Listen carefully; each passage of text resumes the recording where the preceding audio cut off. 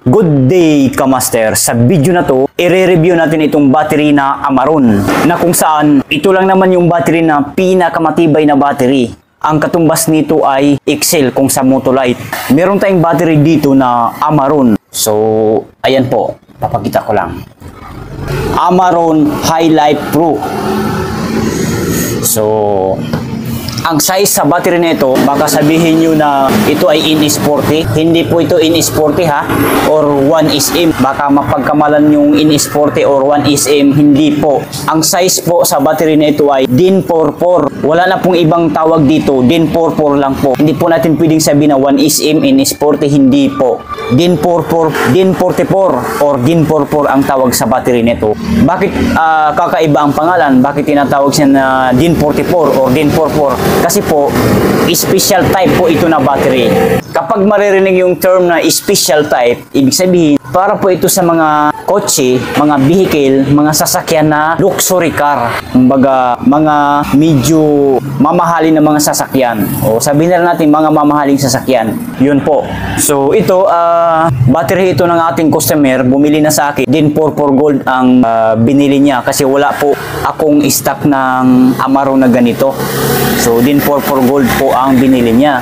So, papakita ko lang. Kung mapapansin nyo, nakalagay dito, may date. Alam ko date ito eh.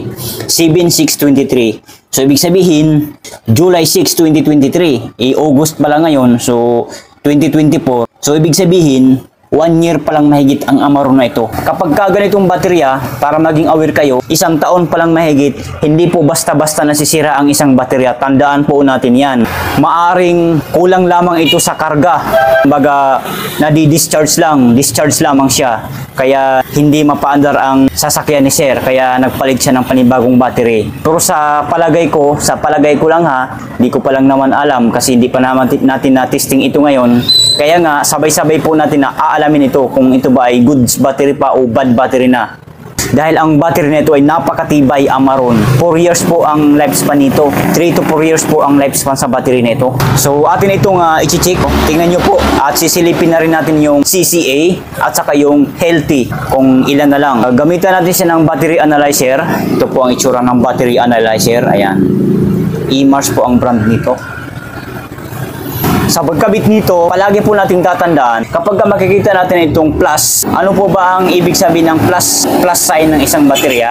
Positive po yan. Ibig sabihin, itong pulo na isang baterya, ito ang positive. Ibig sabihin, pula. Pula po ito ha.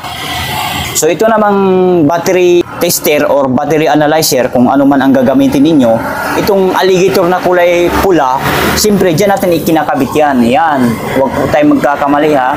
Ito namang kulay itim na alligator clip ng ating battery analyzer. Kung mapapansin nyo itong uh, minus po yan ha, minus sign, ayan. Ibig sabihin, negative polarity ito ng isang baterya. Itong pulo na ito, ito ang negative. Kulay itim po ito ha. Pag mga negative, itim po yan automatic. So itong alligator clip naman nating uh, battery analyzer na kulay itim, dyan natin kinakabit. Ayan. So as you can see ka-master, ang reading sa voltahe ng battery nito ay 12.4 or 12.47 volts. Uh, recharge po yan kulang sa karga kasi po ang standard na karga ng isang battery ay 12.6 volts. Yun po, full charge po yun. So 12.4, kulang po sa karga yan. Kailangan na i-charge ito. Sisilipin natin yung kanyang CCA. Okay battery test, din regular flooded, din CCA, 300 amperes na kasit up na so gawin na lang natin na 400 400 amperes. Kasi kung hindi kakayanin yan siyempre babagsak po yan. Bad battery ang nakalagay dito mamaya. Pero kung kaya niya good battery. Kung good battery pa ito. So pagka ganyan na sit na i-okay nyo na. I-testing na natin para magkaalaman na kung ilan na lang ang CC sa battery nito, kung sira na ba o goods pa. As you can see, Kamaster, kung mapapansin natin, good battery ang nakalagay dito. Ang kanyang CC ay 470 CCA, cold cranking amps.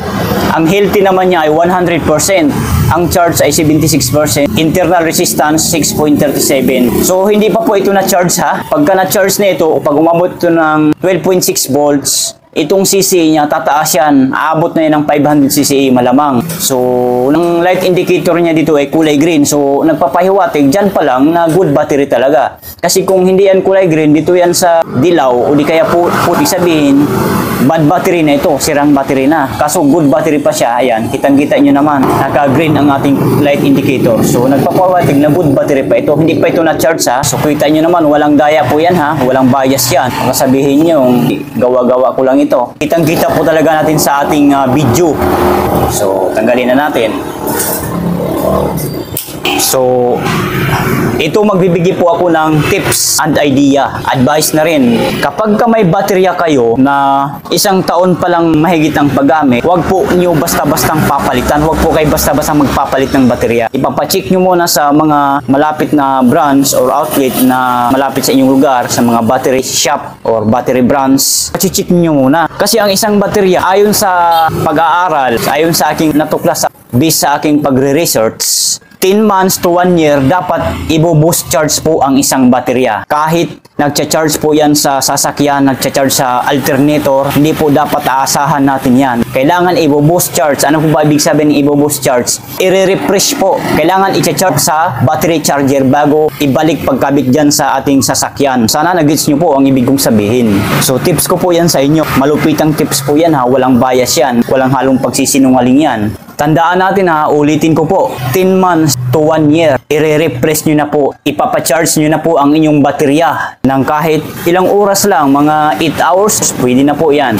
Kasi kung mapapansin nyo, ayan no, Amara Raha po ito, silver inside, zero maintenance, yan.